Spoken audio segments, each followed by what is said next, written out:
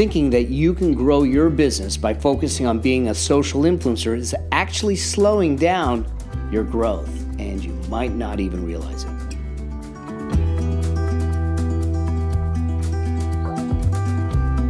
You see, a ton of so called influencers are parading their likes and subscribers and thumbs up as a badge of honor as if it represents their status as a market leader. Look, as you know, market leaders have thriving businesses. They've learned by leading the way they can have people want to work with them and they don't have to chase people down. For example, look at people like Brendon Burchard, Sheryl Sandberg, Elon Musk, and the late Steve Jobs. They aren't hunting down anyone or sales, it's the opposite. People want them. They aren't influencers, they are thought leaders changing the space, creating their own space. But then, when you look at influencers who have tons of subscribers, put a bunch of videos and content out, yet are struggling to pay their bills, in fact, if you have a following right now, you may not be seeing the results you want either.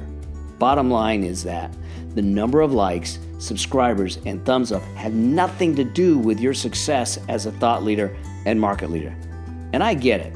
It's easy to fall into the trap because you see gurus telling you that you need a following to bring in sales, but what they don't tell you is that likes or subscribers is not a following. In fact, you yourself have probably liked something on Facebook in the last 48 hours from someone you don't follow, and chances are you're subscribed to someone on YouTube who you would never buy from.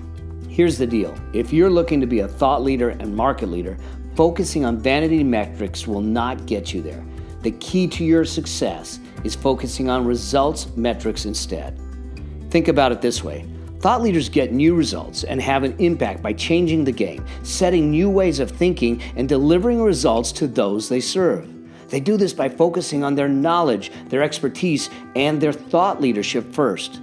They build distinction into their content by packaging it into unique signature frameworks and proprietary processes that get consistent results and solve problems for those they serve.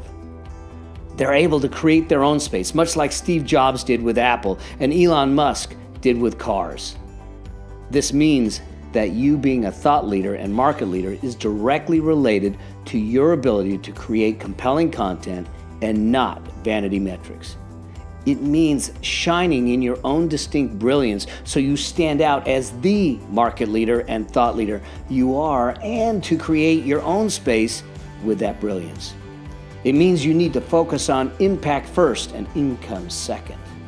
It means your likes, subscribers, and thumbs up only matter when they are creating your market and thought leader presence. Anything else is simply window dressing.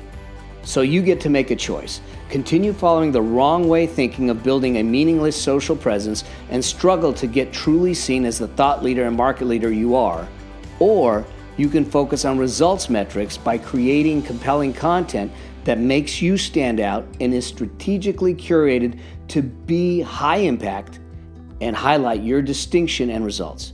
Take a look at some of the top market leaders and thought leaders today, like Simon Sinek, Seth Godin, Sheryl Sandberg, or Sara Blakely.